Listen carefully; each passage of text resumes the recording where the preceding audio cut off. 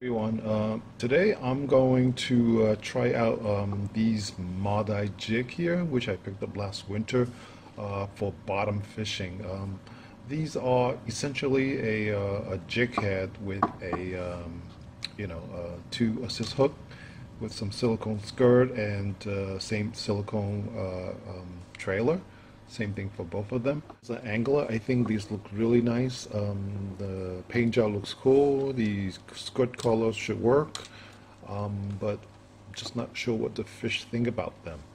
Um, I think they are of the Lucanus type uh, from Shimano. The jig that kind of resemble a, uh, a squid. Um, so as I have never fished this before, um, my intention is to uh, basically do a vertical jigging as I'm drifting, meaning I'm bouncing bottom. So, you know, taking this and just bounce up and down um, as I glide the, um, the floor. Um, I think this also can be cast from the shore. Um, this one has two eyelet, one on the top for um, jigging and the eyelet on the front for uh, casting from the shore. Um, you know, uh, they should be able to uh, cast pretty well depending on the weight of each jig. This one's 45 gram and this one is 40 gram.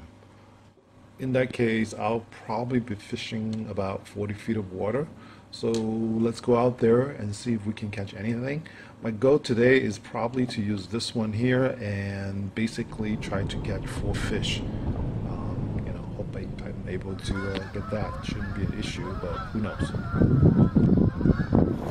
Alright, the weatherman didn't tell me that the water was this choppy. It's crazy out here. I'm actually pretty scared. I was thinking I was gonna flip. The uh, weather was supposed to be 5 to 6 mile wind, but as you can hear, it's howling in the background. And it's pretty windy here today been out here for a while now, um, probing a couple locations where I thought there would uh, hold fish. Um, so far, all of them had uh, come up empty. So here I am to a place I've been before. Hopefully there's some life beneath. As I am uh, dropping down the uh, jig to the sea floor, um, you know, it feels like a, uh, a bucktail. It's got, you kind of feel the motion of the the trailer and the jig bouncing up and down and it, it feels okay. So I'm hoping I can entice the fish to uh, hit it. And we have a fish on and it's definitely 100% a porgy.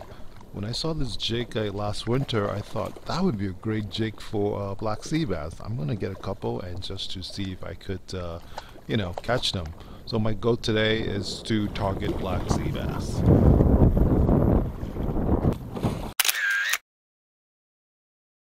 As I had mentioned before, I'm fishing between about 30 to 40 feet of water and it's incoming tide and it's really strong so paddling against it is not fun. I'm getting a little inches here, tap tap, um, so looks like a small fish.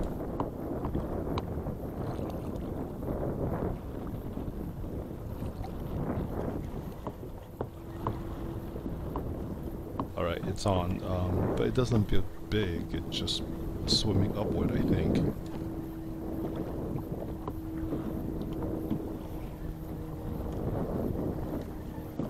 Alright, it's tugging a little bit. It's like Murphy's Law. Every time, you know, something happened, your battery die or something just go wrong. But after a few minutes, I uh, brought up the fish, uh, changed the battery, and here is the uh, what I got.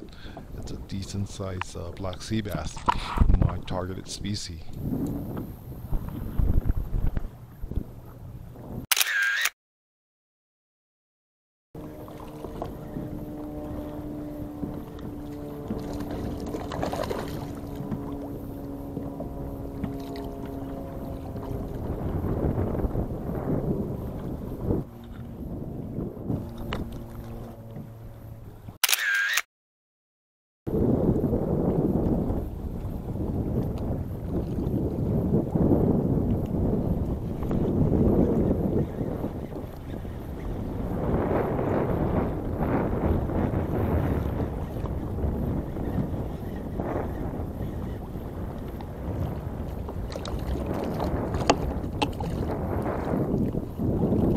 After a few fish, the uh, skirt become uh, start to become undone, and a few of them has been torn apart.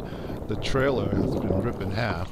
So the durability it's lacking. Um, I think if you are going to use this type of jig, I would highly recommend you get a replacement skirt, which I think they sell, and uh, just put it on once the uh, the old one gets all damaged up. I think this jig certainly has a place in the uh, tackle box, but uh, I don't think it would uh, replace the um, bucktail or the uh, you know diamond jig and such. It would just uh, complement to it. Uh, you know, it's something to do in case you want to try this out, and I think it's worthwhile to invest at least one of them to give it a go. I think that's a lobster bow over there.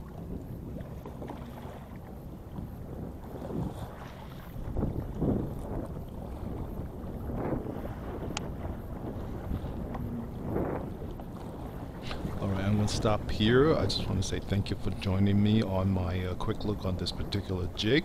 Uh, if you have any comment, please leave below. Tell me if there's some way that you fish other than the, the way that I do. How do you do it differently? Uh, any suggestion, I would really appreciate it. Just leave it in the comment section. So next time when I go out there, I'll able to, um, you know, apply some of the uh, technique that you have or you mentioned. Thank you.